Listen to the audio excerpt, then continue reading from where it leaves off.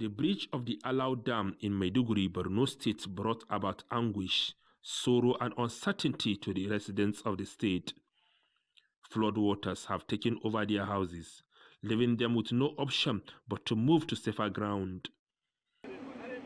Some of them, mostly the elderly, women and children, were evacuated. Aisha Aliyu, a victim, says she found herself in a difficult situation. It's very terrible, very terrible. I never pray for even my enemy to experience such a thing.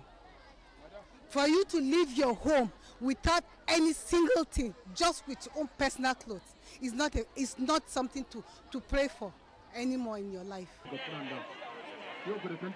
More than 400,000 people who were displaced are being sheltered in night camps in Maiduguri.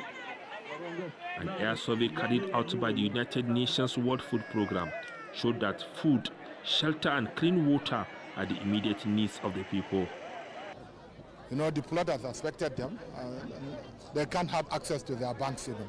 So what we decided to do is to give 10, 10,000 naira to each of the heads of household, both male and female heads household. This is what we are doing. Then subsequently we'll distribute food and non-food items to all of them. So far so good. Uh, we have mobilized cooks and they have started cooking food in this camp. WFP established kitchen in three camps, providing meals to the displaced persons. The Food and Agriculture Organization of the United Nations said floods in the northeastern states of Adamawa, Borno and Yobe states have compounded the food security challenges in the northeast.